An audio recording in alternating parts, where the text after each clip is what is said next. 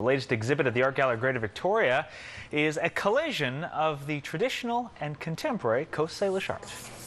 You can't get art much more indigenous to this area. These are the, uh, the Coast Salish people um, looking back at their traditions, their traditional um, visual art, and updating it to contemporary times.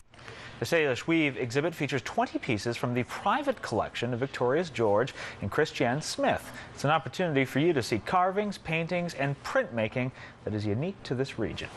We're, we're hoping that the people have a new appreciation for the art and also that they can recognize that First Nations art isn't strictly um, traditional and traditional forms, that the artists are are growing and, and uh, experimenting and using different materials here and different approaches that really bring it into the, their contemporary.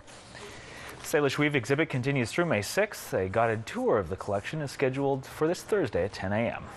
Well, the Art Gallery Greater Victoria uh, also provided a stage this morning for the Federal Minister of National Revenue. What color is that, Noah? Purple. You know, it's very expensive to raise a family these days, and uh, this is our government's way of supporting uh, uh, more families, uh, those who choose to put their children in, in arts and cultural activities. The minister used the gallery's Baby Picasso class as a backdrop to remind parents about the tax credit first introduced in last year's budget.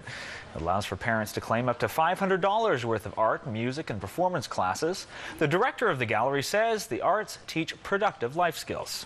I think it's important that the kids need training and be prepared for the new economy, and part of that is is uh, problem solving, and part of it is uh, critical thinking and and uh, the ability to express themselves in different ways. So I think that those things are you can learn through arts education that maybe you can't pick up through literary and math sciences. And finally tonight, uh, actually, if you want more details on the Art Gallery's children's classes, just visit aggv.ca.